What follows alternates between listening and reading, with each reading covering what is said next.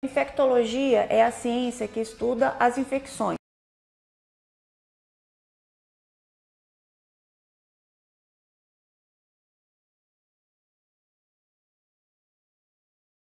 Infectologia é a ciência que estuda as infecções.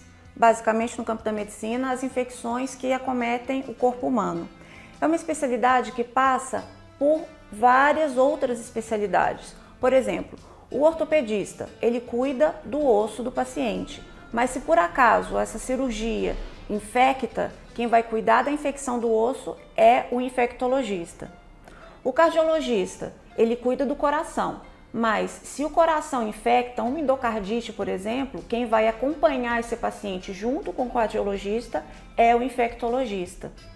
O pneumologista, ele pode olhar várias doenças do coração, mas uma pneumonia que não se sabe exatamente o que é, que foge do padrão, que está difícil do paciente responder ao tratamento, o infectologista sempre vai estar presente, mesmo que ele não seja o único paciente que acompanha o caso.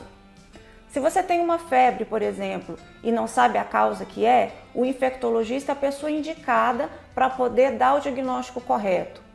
Se você se expôs sexualmente a uma, ao risco de ter uma doença de transmissão sexual, o infectologista é o médico mais indicado para poder te acompanhar. E assim, com isso, existem várias situações em que é interessante procurar um infectologista.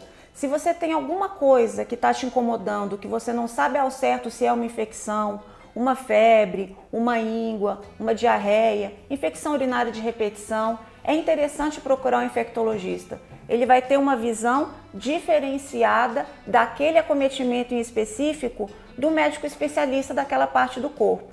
E além disso, existem outras doenças que são muito próprias do infectologista, como as doenças de infecção é, de transmissão sexual, como o próprio HIV, a sífilis, algumas vacinas. Para tudo isso, o infectologista tem que estar presente.